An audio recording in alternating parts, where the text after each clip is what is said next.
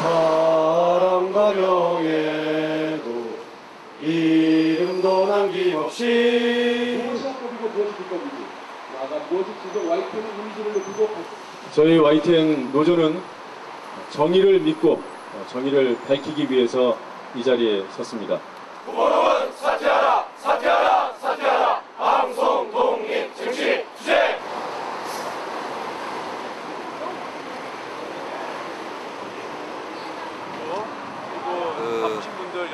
YTN 돌발 영상은 작년 연말에 YTN 종무식에서 어, YTN의 그 해의 최고 공로상, 최고의 상이라고 할 수 있는 YTN 대상을 받은 팀입니다. 그만큼 YTN의 돌발 영상이 얼마나 큰 기여를 했는지를 회사에서 인정을 해줘서 그런 큰 상을 내린 것이고 돌발 영상 팀이나 저 개인도 그에 대해서 무한한 자부심과 아, 영광을 느꼈는데 채 1년도 안 돼서 그 회사로부터 YTN 이미지를 훼손당하는 거를 막겠다며 어, 운동에 나선 것을 이유로 같은 날 한 날 돌발 영상 제작 시간에 인사위를 개최하고 경찰서 조사까지 받게 되는 이런 상황에 이르렀는데요.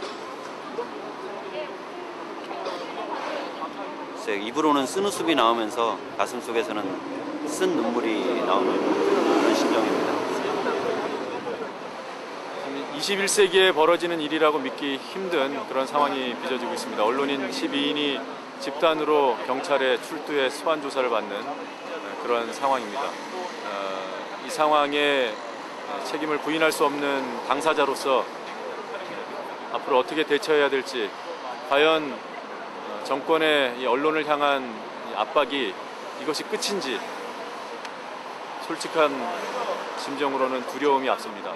아, 과연 어, 우리가 이 싸움에서 승리해서 어, 정권의 언론 장악 음모를 저지하는 단초가 될 수 있을지 역시 두려운 마음이 앞서는 것이 사실입니다. 그러나 저희 YTN 노조는 지금껏 그래왔던 것처럼 결코 이러한 압박에 굴하지 않을 것이고 어, 저희가 옳고 정당하기 때문에 경찰 조사안이 그 어떤 압박이 와도 결코 지지 않을 것이라는 점을 말씀드릴 수 있습니다.